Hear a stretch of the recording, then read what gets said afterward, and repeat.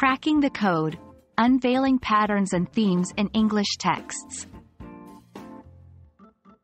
Hello, everyone. Welcome back to our English language learning series. Today, we're going to dive into a very significant skill in reading comprehension recognizing patterns and themes. This skill is incredibly important in our journey to master drawing conclusions. So, let's crack the code together. First off, let's understand what we mean by patterns and themes. Patterns in a text could be recurring characters, symbols, events, or ideas. They can help us predict and understand the structure and flow of the story.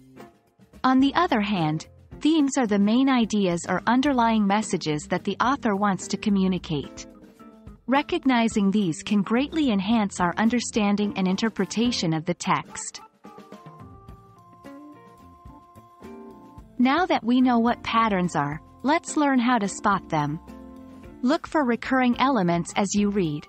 Characters showing similar behavior or facing similar challenges? Symbols or objects showing up more than once? Events that keep happening? These could all be patterns. They will give you clues about the text and will help you predict what might happen next. Themes can be a little trickier to identify, but they are crucial in understanding the deeper message of the text.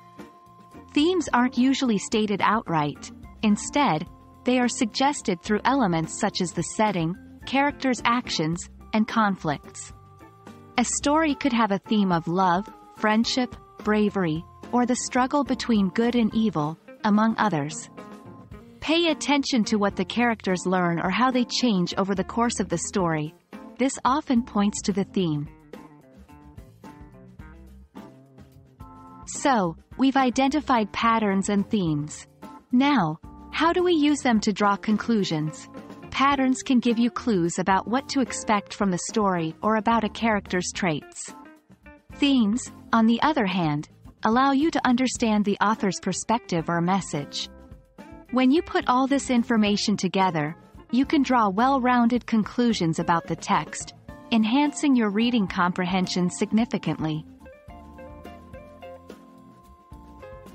And that's it for today's video on recognizing patterns and themes. We hope you now feel more confident about identifying these elements and using them to draw your own conclusions. Keep practicing and remember, the more you read, the better you will become at spotting patterns and themes. Happy reading!